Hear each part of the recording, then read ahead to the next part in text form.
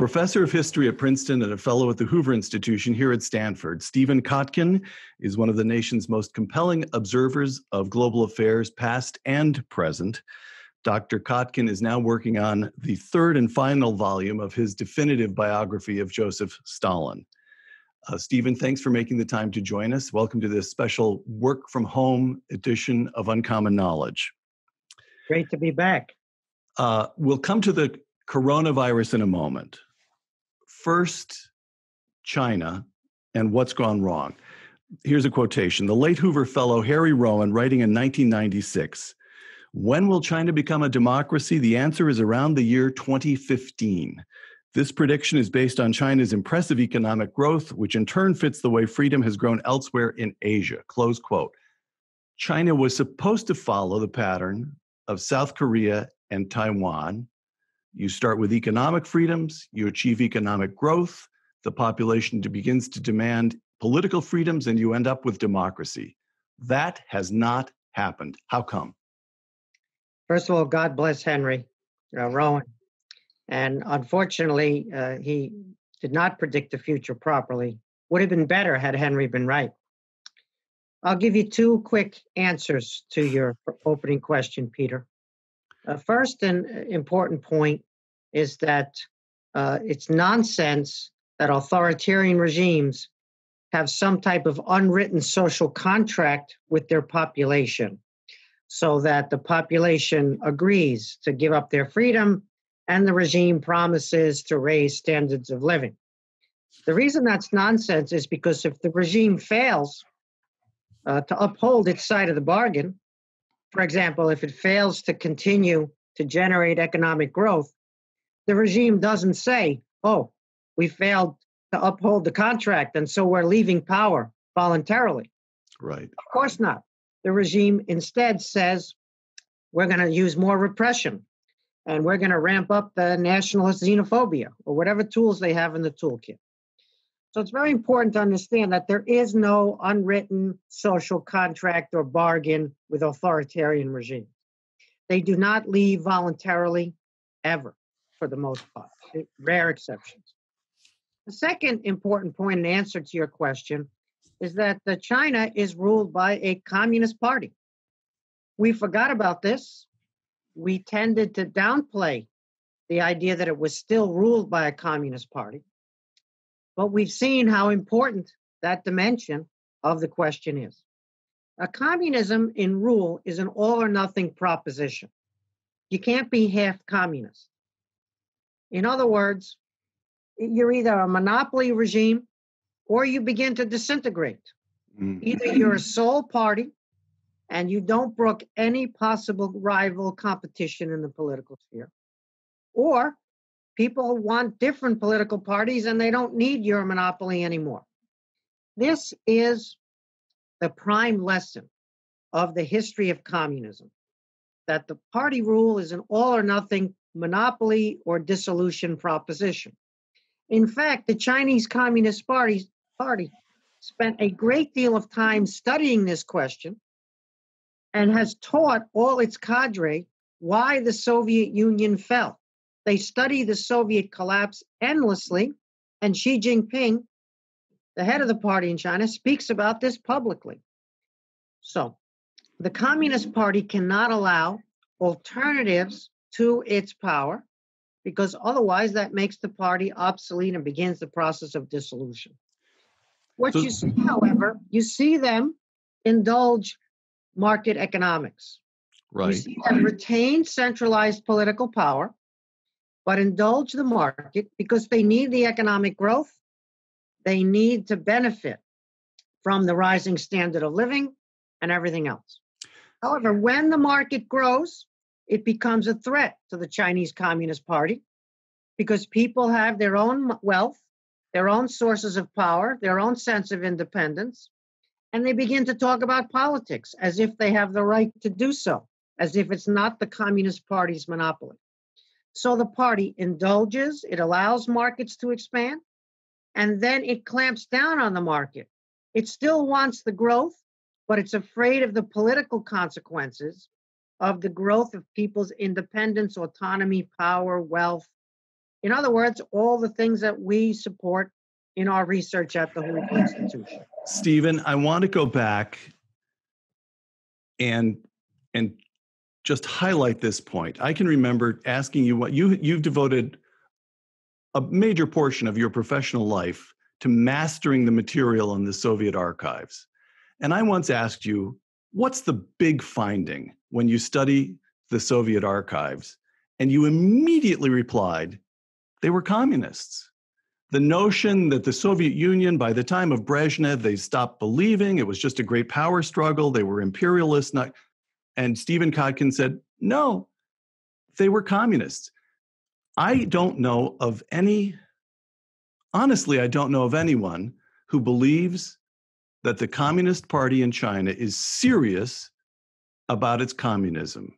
They're imper- it's all that we used to hear about the Soviet Union in the old days and you say oh yeah they are they are communist is that is that correct or do you want to add some nuance do you want to qualify it in some ways? You're right peter. The secret of the soviet archives was that they were communist and so what does this mean? It has two dimensions. One dimension you could call the dogma or the ideology.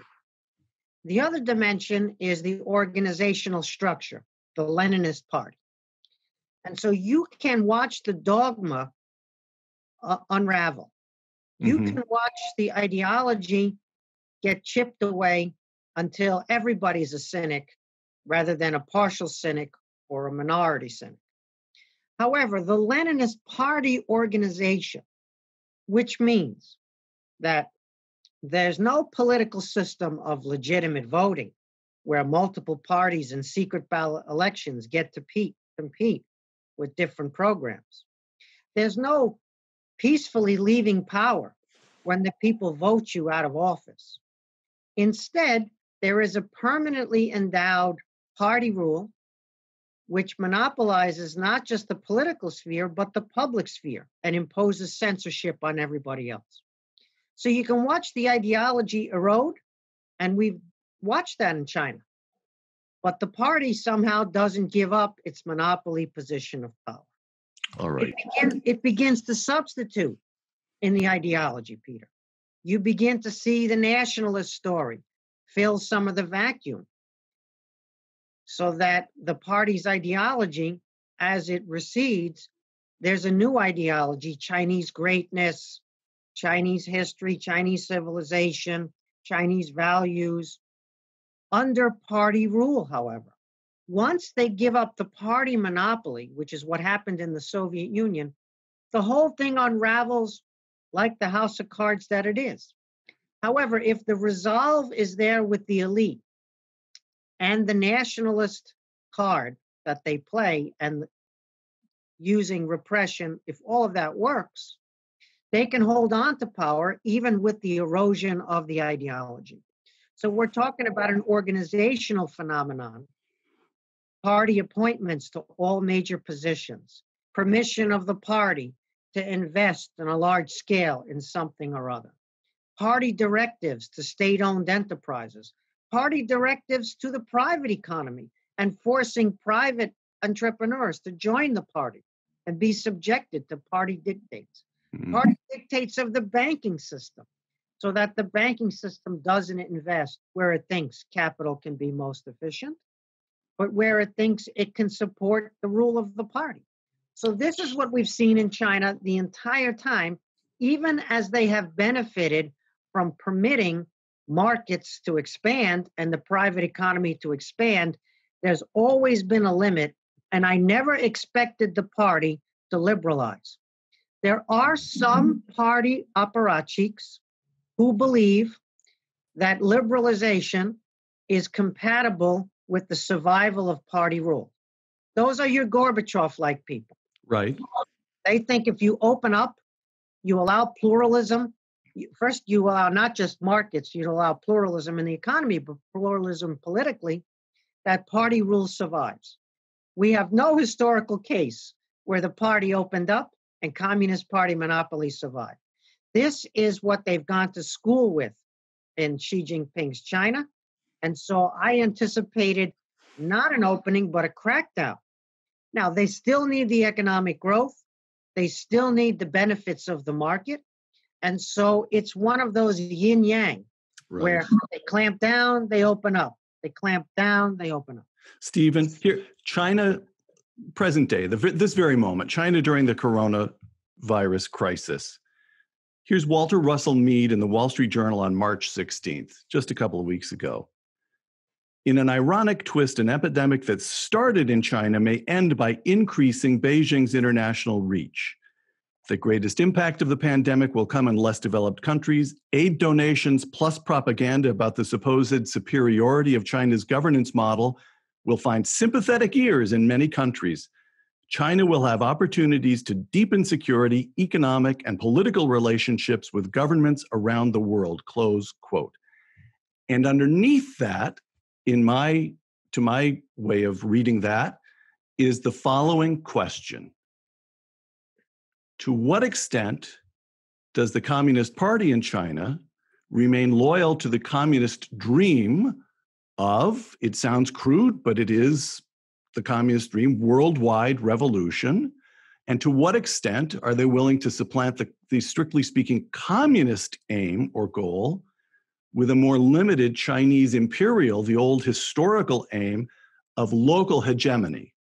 Over to you. Again, great question, Peter. So China is the largest economy with such an opaque political regime ever. They hide their policy process, they hide their motivations from their own people and from the rest of the world. But we can deduce their action, their aims from their actions.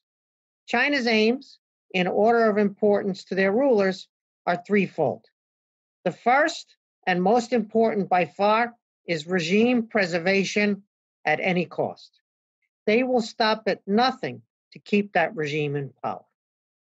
The second goal that we can redu- deduce from their actions is the pursuit of primacy in East Asia, their own region. This includes the eviction of the US from its military bases in the first island chain and even the weakening or dissolution of US bilateral alliances in East Asia. The third aim is the build out of a grand Eurasia, folding in Russia, folding in Iran, and reorienting Europe away from Atlanticism, away from the Atlantic, and toward China, a Eurasian reorientation, including of Germany, away from the Atlantic economy and the US alliance. This is a breathtaking grand strategy.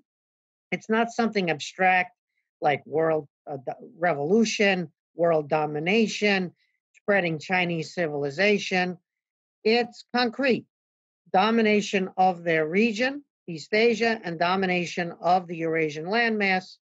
The Chinese leaders are pursuing these aims largely without overturning the existing order.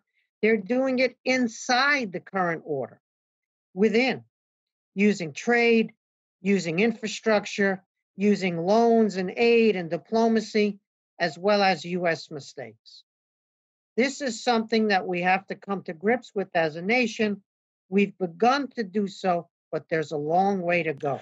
Stephen, back for a moment to the Soviet Union. I'm not I'm not sure this is a if this isn't a valid question, I can count on you to let me know, but it occurred to me the Soviet the famines of the 1930s, the German invasion during the Second World War. We haven't experienced anything like that, of course, thank goodness. But this coronavirus lockdown a national calamity. Two months ago, we had the strongest economy in, by some measures, in several decades. Unemployment, particularly among African Americans, Hispanics, the less advantaged groups in this country, was at the lowest levels ever recorded. Real income was beginning to rise. And today we're, we've locked down the economy. Goldman Sachs is predicting this quarter the economy will shrink at an annual rate of 24%. We haven't had anything like that since the Great Depression. In fact, I'm not sure we had anything quite as sharp a drop as that since the Great in the Great Depression. So this is in its own way a national calamity. Is there anything from the Soviet experience which you know so well that comes to mind? Lessons, to learn? So you're right. This is very serious. And moreover, it's potentially very long term. Now, once again, we're early and it's hard to make predictions. There were people making predictions yesterday and last week and two weeks ago, and a lot of those predictions are worth nothing today. So I would be cautious about predicting the future, but obviously, this is a very serious challenge. And the challenge could get significantly worse as well as significantly better. In a crisis, what you discover, Peter, mm-hmm. is that you need two things. The first thing you need is competent and compassionate leadership. Competent and compassionate leadership. What was interesting about the Soviet Union was that it had competent but not compassionate leadership. It fought World War II, for example, the greatest test any society has ever faced the invasion of the Nazi land army with its allies. 3.3 million men on invasion day, June 22nd, 1941.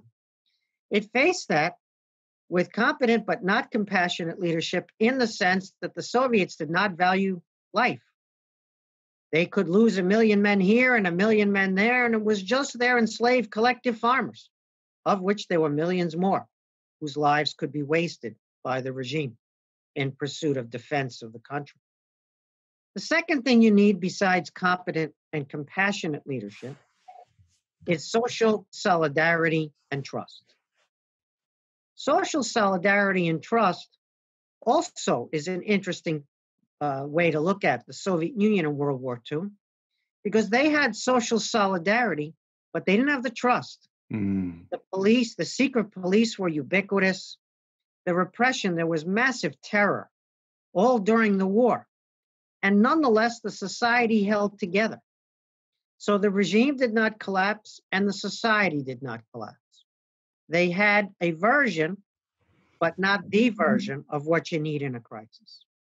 Now, if you look at overall World War II or the Cold War and the struggle first against Germany and Japan and then against the Soviet Union, you see that democracies are better than totalitarian regimes at mass mobilization of resources because their leadership is compassionate, not just competent, and because their social solidarity is based upon trust, not coercion, plus a sense of nationalism or tragedy.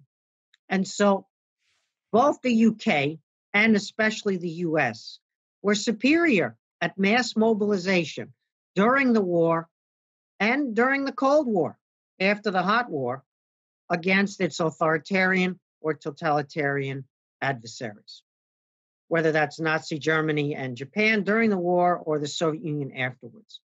So this is a long game, Peter. Mm-hmm. It's a very long game, and the advantages are on the side of democracies that have the compassion as well as the competence and that have the trust as well as the social solidarity.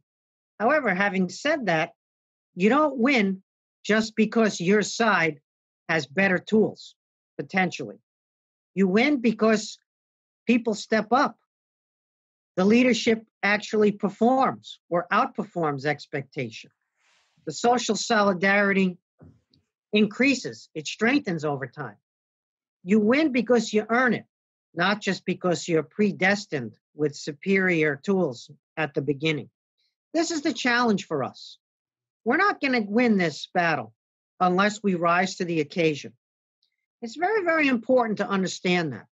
We have the attributes that nobody else has the endowments and the attributes, but we can squander them. We can lose the battle because we're the people who can defeat ourselves if we have incompetent leadership, if we have non compassionate leadership, if we lose our social solidarity. Let's remember, Peter, how did we get to the place we're in now? We got to the place we're in now, you could argue, because of two very big trends that are reinforcing. One, elites were unaccountable. They could do the global financial crisis, or they could do monetary union in Europe, and then we'd be left with the consequences, and they would walk away and get promoted to yet another better job with a higher uh, speaker's fee or a bigger book deal or whatever it might be. The unaccountability of elites was something the masses perceived across the globe right. in various elections in different forms in different countries, including in ours. That problem persists. The second reason we're in the situation we're in is the fragmentation of society. Your strength as a society is obviously unity. You want to have a sense of collective purpose. You want to be Americans without hyphens. You want all citizens to be equal before the law and part of the national community and part of the collective endeavor. We have fragmented ourselves badly we fragmented ourselves in part socioeconomically with the maldistribution of opportunity. I'm not speaking of equality of outcome, I'm speaking of equality of opportunity. Right. Maldistribution of opportunity. But also, we're the kind of identity politics or a tribal politics which forgets the e pluribus unum, which forgets the collective enterprise, the unity of purpose, the strength so this unaccountability of elites and social fragmentation has been deeply debilitating to us. And those are the things that must be overcome because that's what we need to now get ourselves domestically out of this crisis, but also internationally. Stephen, a couple of sentences from your article last summer in Foreign Affairs. I'm quoting you. The Trumpian moment is an opportunity. The best of the United States is there to be rediscovered, reinvented, and repositioned for the challenges the country faces. If properly understood, Trump could be a gift.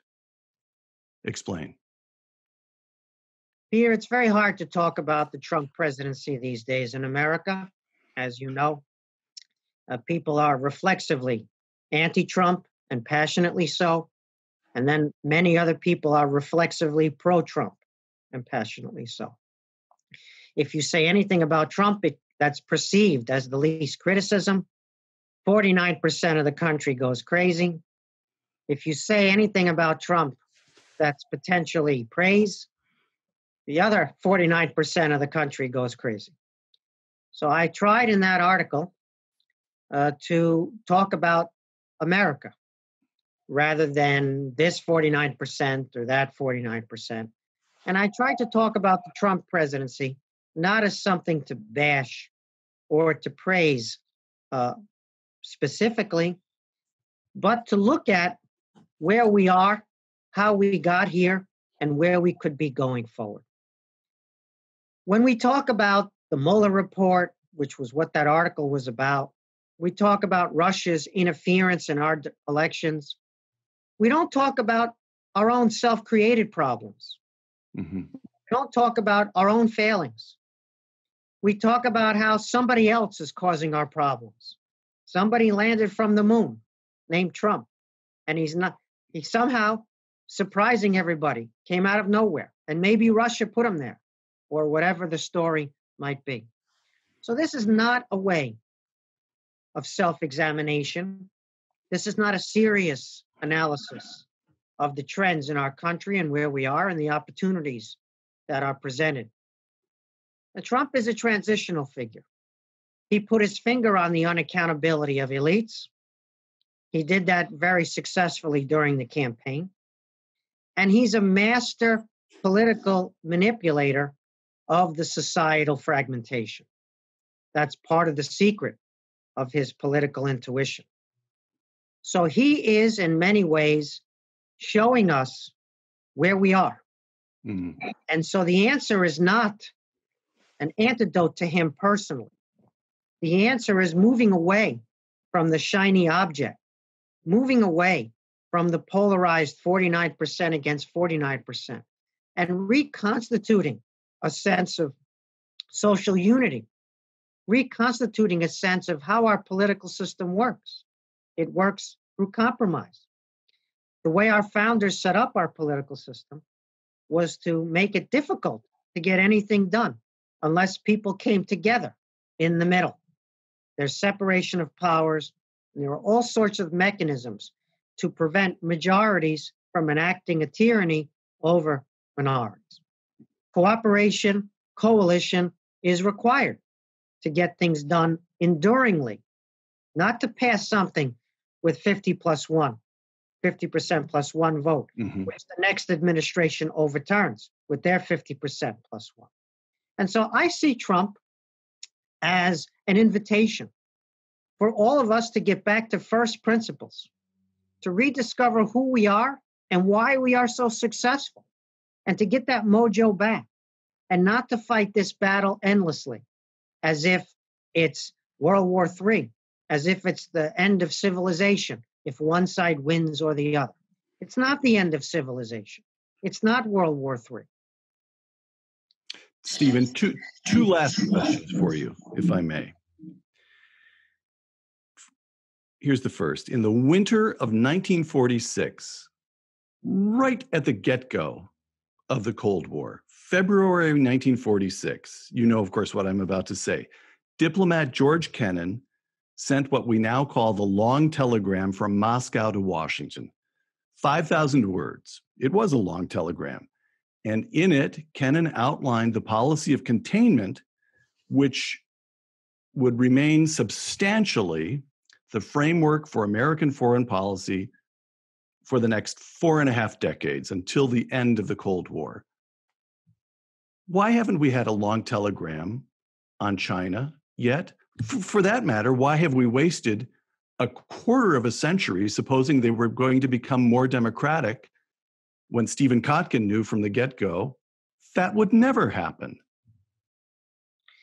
In part, Peter, it's because uh, China is not just a foe or an opponent, but is also a collaborator, is also a partner. China's success has redounded to America's success. We have been better off because of China's success. It has thrown off tremendous benefits for the Chinese, the hundreds of millions lifted out of poverty, but also all around the world. And so we don't want Chinese success to stop. We want to figure out a better way to manage the relationship. We want to continue to benefit from the relationship, but not have it be the one sided relationship it had become partly prior to President Trump changing the national conversation about China. And so the absence of the Kennan is in part because fundamental nature of China is different from the Soviet Union. Having said that, what's similar is a potentially successful or perceived to be successful authoritarian great power. That changes the game internationally. An authoritarian power that's a basket case is not going to galvanize a whole lot of others onto its side or to imitate it or to do its will. But an authoritarian power that projects its ability to lock down a country and stop the spread of the virus. Right. To manufacture all the medical equipment that the world needs and to supply it on a voluntary philanthropic basis to countries in need. That kind of power, authoritarian power, that's the challenge that we face. Now, once again, Chinese scientists, they may be the ones that come up with the vaccine. We may have a race to the moon, like we had with the Soviets over the vaccine or other aspects of the pandemic. I welcome that rivalry, but I would prefer cooperation. It could be that our race with China for the vaccine, as well as Germany and Japan and other mm-hmm. fantastic countries of, of uh, biological science, it could be that that accelerates the process of discovering the vaccine. But cooperating with Chinese scientists on the vaccine would be even better potentially. And so that's the proposition. Where is there competition? And rivalry that requires a strong response from America to defend freedom and other first principles? And where are there areas of cooperation that require not confrontation, but in fact benefiting from the incredible dynamism of Chinese society and the human capital that they have. This is the heart of conversation, Peter. We have had this conversation at the margins. It has been occluded by our entertain our infotainment complex that we all know what it is, and some of us are quite entertained by it on occasion. However, it could well be that now many of those recently written or written some time ago analyses of how to both compete and cooperate with China get a second look. Mm-hmm. And, and we figure out what we need to do. The bottom line on all of this is how do we protect liberty and the rule of law at home and globally? That's all what right. we're about. Here's the last question, then, Stephen. The Chinese vastly outnumber us. Their economy may very soon be bigger than ours. They're spending on the military. As you often point out, Russia and Iran don't even come close in military spending to what the Chinese are doing. And they possess a central government. We would not want to live under the central government that they have, but it can get certain things done. And all we have is a 230 year old constitution. How optimistic are you? That's an excellent question. And I'd, I'd have to say that I'm a pessimist by nature. The beauty of pessimism is that A, you're always right. And B, if by some freak of nature you're wrong, it's because something good has happened. However, in this particular case, I don't think full pessimism is called for. Uh, China has uh, fundamental vulnerabilities. And those fundamental vulnerabilities involve mostly politics. We understand their banking system uh, presents fundamental challenges. We understand ecologically, they face enormous challenges demographically. But I want to talk in closing about the politics and why our system has strengths that we continually rediscover. In the Chinese case, you can imagine it as six vulnerabilities over time mm-hmm. Manchuria, Inner Mongolia, Xinjiang, and Tibet are four of them. Those are all predominantly ethnic challenges to the Chinese.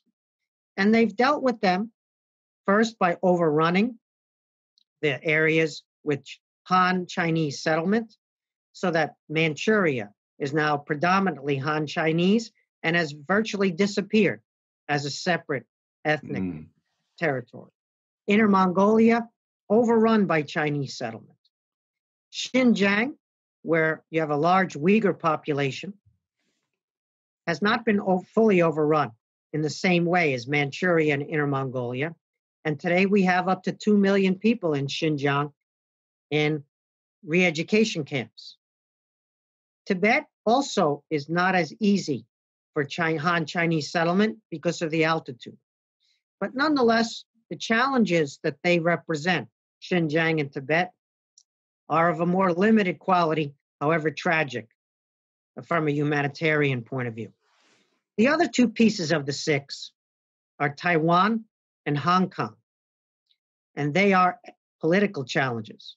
They are an ethnic Chinese political system that's different from Communist Party rule. And the strength and durability over time of Taiwan and Hong Kong are the two most important assets that we have on our side and that are the greatest vulnerabilities to communist Chinese rule. Hong Kong and Taiwan represent our kind of systems, US style systems, where liberty and the protection of property are higher values than the preservation of a certain kind of rule of the Communist Party. We have to remember this. We have to remember that China has those vulnerabilities and they're right there at home. China has cl- reclaimed Hong Kong from the British and they would like to reclaim Taiwan. They claim it as their territory. But as we've seen, they've had a very difficult time assimilating Hong Kong politically. Mm-hmm. And this has redounded to sentiment in Taiwan as well. And so let's not forget that as great as China's story has been, I'm a very big admirer of the accomplishments of modern China. I'm awed by the dynamism and entrepreneurialism of that society. It's amazing what they've been able to achieve. And without them, we would have a lot fewer medical supplies right now in the crisis that we're in. At the same time, they're politically vulnerable, and we are potentially politically strong if we can rediscover what it is that made us the country that we are. Stephen Kotkin of Princeton and the Hoover Institution, thank you. Stephen, now will you please get away from your microphone and get back to work on the third and final volume of your of the Stalin trilogy? I, I, I get I get emails every week from people. When is Dr. Kotkin going to finish that trilogy? You know, nobody wants to finish quicker than I do, Peter. I've been living with this monster for a long time now. Stephen Kotkin of Princeton University and the Hoover Institution, thank you. For Uncommon Knowledge, the Hoover Institution, and Fox Nation, I'm Peter Robinson.